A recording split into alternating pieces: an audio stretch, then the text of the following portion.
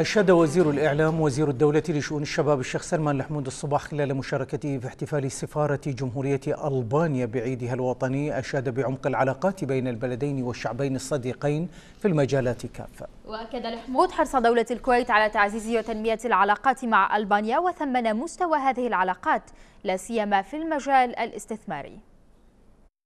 احتفلت سفارة جمهورية ألبانيا بمناسبة العيد الوطني لبلادها.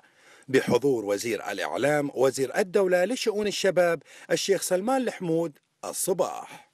تشرفت اليوم بنقل تهاني وتحيات سيدي حضرة صاحب السمو الأمير وسيدي سمو ولي عهده الأمين وسيدي سمو رئيس مجلس الوزراء حفظهم الله.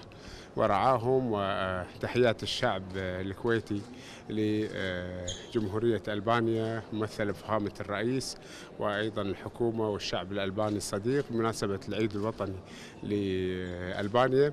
أقيم الاحتفال بحضور شخصيات سياسية واقتصادية ورجال الأعمال. حرصوا ليقدموا التهاني في لحظة رائعة للاحتفال بالعلاقات الهامة القائمة بين البلدين. لعمق العلاقات بين البلدين الصديقين في كافة المجالات وهي علاقات مهمة وتركزت في مجال أيضا الاستثمار.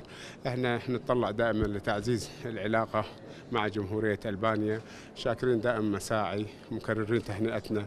هذا الاحتفال يدل على العلاقات المتينة بين جمهورية ألبانيا ودولة الكويت في جميع المجالات وأن الصداقة والتعاون أقوى من أي وقت مضى والذي يشكل هذا الحفل تجسيدا لها. من احتفالية العيد الوطني لجمهورية ألبانيا يوسف صفر التلفزيون دولة الكويت.